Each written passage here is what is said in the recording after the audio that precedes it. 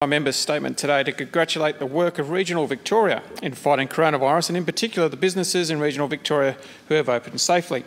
Some businesses have reopened despite not being able to open uh, fully with full capacity and despite having to comply with strict COVID plans. Hospitality workers have had to wear masks despite groups of up to 10 diners sitting next to each other and not having to wear masks. And this weekend, the staff even did it in 28 degree heat. I commend the businesses in these areas and all over regional Victoria who, nonetheless, are complying with mask wearing and the restrictions within their COVID plans. Let's keep it at regional Victoria.